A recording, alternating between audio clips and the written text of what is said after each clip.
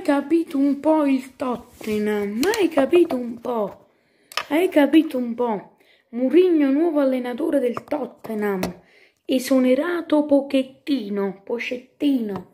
Lo prendevo in giro perché lo prendo in giro ormai da parecchio. Quindi è stato cacciato Pocettino perché vedete il Tottenham Um, viene da piangere vedere il Tottenham quindicesimo in classifica.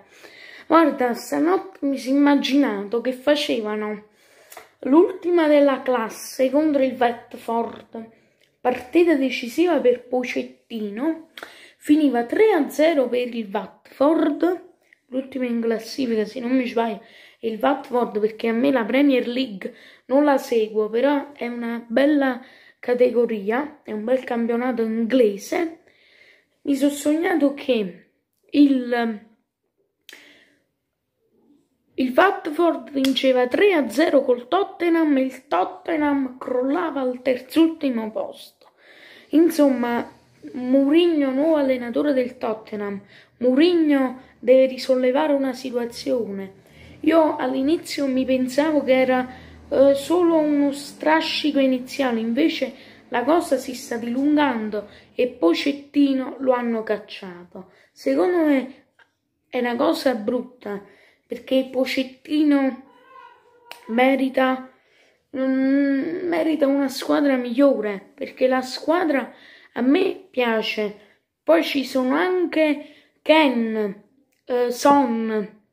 Poi la cosa che a me mi sta più antipatica è che Murigno fa mi sta antipatica Murigno perché mi dà sempre quella tensione quindi secondo me il Tottenham ha fatto, ha fatto una buona scelta.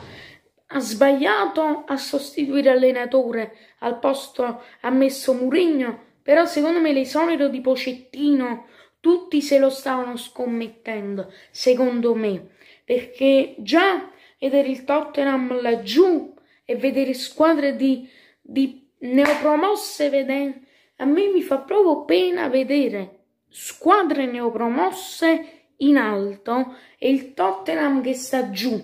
Guarda, secondo me la classifica della Premier League con tutto il cuore in mano non ve la dico perché il Tottenham in Champions League sta facendo bene. Vabbè, il girone è facile, ci sono... Poi il Tottenham ha preso sette pere dal Bayern Monaco in Champions, se non vi ricordate male, col Tottenham, quattro gol di Gnabri, se non vi ricordate male. Adesso ha fatto una figuraccia in casa Pocettino.